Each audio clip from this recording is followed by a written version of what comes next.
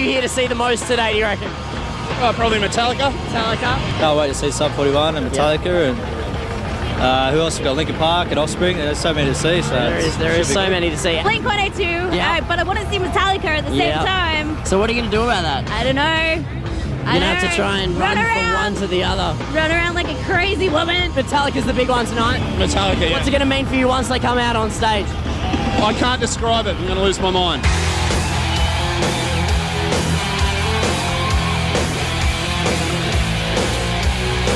Joining me right now, the master of metal, James Hetfield. Sir, it is so good to have you in my presence. Now, I was curious, when was the last time you, James Hetfield, was in a mosh pit, and who was it for? I've created my own mosh pits quite a quite a lot when we go to you know whenever our favorite bands are in town. Whether it was you know like I think the last one was the Sword uh, or Gojira were in town.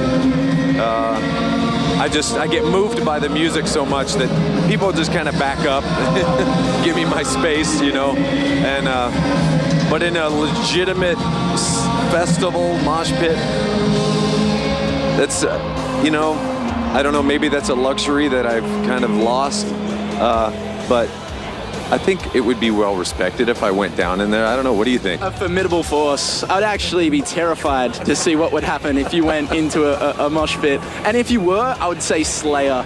I would love to oh, see. hell yeah. in- in- i mean there's uh, no other yeah. no other pit like slayer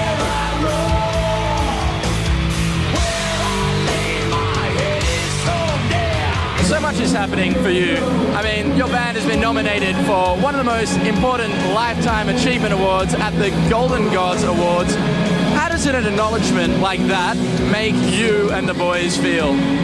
Well, we we've been doing what we love for 30 years, and we've had many awards along the way. Uh, I think the biggest award is recognition for changing people's lives and making an impact on people, and that is another one of those awards that has done that. And you know, besides getting kudos from all the fans and everything, we're totally blessed to get anything, really. Now, you do talk about, you know, changing lives because when it comes to Metallica music, your fans don't just want your music.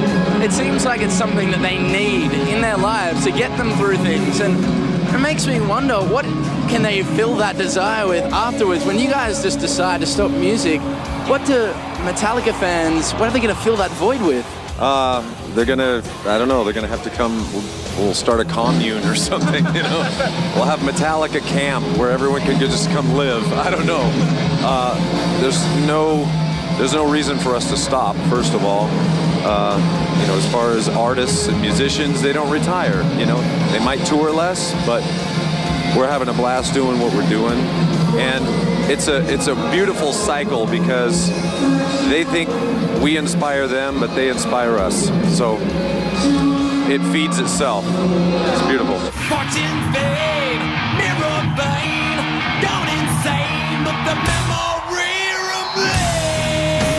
For someone like you that's been playing a, a fair, considerable amount of gigs every single week of their entire life, it's probably going to be tough. But can you think about a gig that you appreciate more than maybe any other?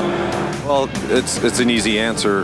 Uh, the 30 year anniversaries we did in at the Fillmore uh, in San Francisco, hometown gigs, celebrating 30 years of being together with fans from every corner of the world traveled in for those shows. We did four shows. We had guests coming up from, you know, Ozzy to Halford to uh, Biff from Saxon, and we had uh, bands that we appreciate open for us or have opened for us before. You know, I'm guessing as a band feels pretty awesome, yeah. it's so cool. And just having people up singing, jamming. It was a beautiful time. We had a friend of ours hosting it, Jim Breuer, a comedian. We had game shows going. We had a museum there. We had just a lot of cool Metallica history and appreciation for everyone who's been involved in the band for 30 years. That, that was a lot of work. We played 80 songs, uh, and our minds were just blown by uh, the love and respect that we got. We had a great time. I mean, how could I? On that note, I'd say that I, am going to let you get backstage, go hang out with your band buddies, and talk with the rest of the musicians here at the festival. But James Hetfield absolute pleasure.